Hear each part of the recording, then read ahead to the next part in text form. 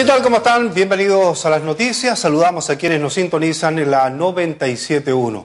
Tren Arica a La Paz recorrió los 206 kilómetros de la vía férrea entre el puerto de Arica y Viviri, informando el presidente de la empresa portuaria Arica que la vía está físicamente operativa.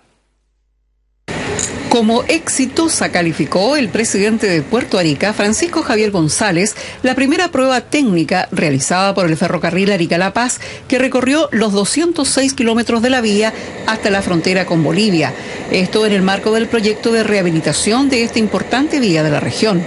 El tren partió el miércoles a las 18.7 minutos desde el puerto causando gran expectación entre los habitantes que vieron pasar la locomotora con seis carros que llevaban durmientes y material utilizado en los mismos trabajos de rehabilitación y remediación del ferrocarril.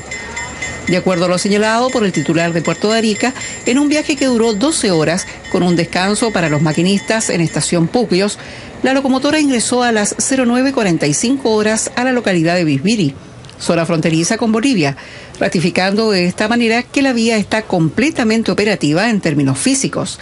El anuncio lo realizó acompañado por el vicepresidente del directorio, Sebastián Montero, el director Víctor Selman y el gerente general de EPA, Rodolfo Barbosa. Bueno, estamos muy contentos de informar hoy día que en el contexto de los trabajos de rehabilitación de la vía del tren de Aricarapá, en el tramo chileno, hemos recibido hoy día la certificación de tráfico que da cuenta de que la vía está 100% operativa de principio a fin. Ustedes habrán visto el día de ayer una locomotora con carros que ingresó a puerto después de bastante tiempo, eh, en donde nosotros hicimos la despedida oficial de esta prueba interna técnica y hemos eh, recibido el reporte de que hoy día a las 9.45 am eh, se completó el, trayecto en su integridad de forma satisfactoria. Por lo tanto, eh, podemos informar que físicamente la vía está 100% operativa.